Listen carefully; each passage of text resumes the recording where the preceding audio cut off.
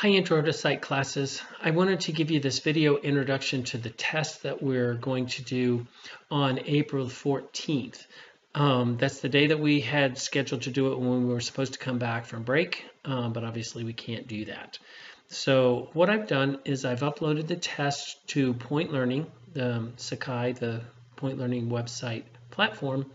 And what you will need to do is go to the Point website, uh, click on My Point like you always do, go to Point Learning, and then find your section. Click on your section and go down to Tests and Quizzes, and you should see it there. It should be the only one that's there. And I'd like you to do that now if you would to make sure that you can see it. You won't be able to open it until April 14th, but I want to make sure that you know how to get there. And if for some reason there's a problem that it's not showing up, I have plenty of time to fix it. So what you'll do is you'll have an hour to take this test, which should be plenty of time. I did it myself in like five minutes, so I know it's my test, but um, most of you should be able to finish it easily in a half an hour at the most.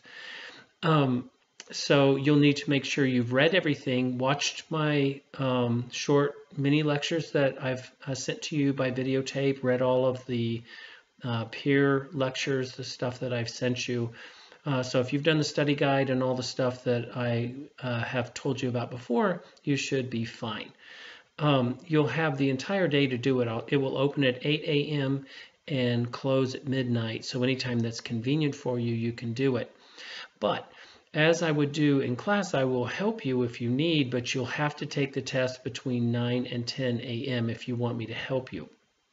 So um, you can take it anytime that day you want. It will close um, on that day. So if you don't take it that day, then it's closed and you can't do it. But as long as you do it between 8 and midnight, that's up to you. But if you want my help, then sometime between 9 and 10, uh, take the test. And if you have questions, email me and I will be online and I'll email you back as quickly as I can and respond to your questions like I would have normally done in person. So make sure you've looked at all of the material. Make sure you've looked it up on Point Learning so that you can find the test if you're not used to using that.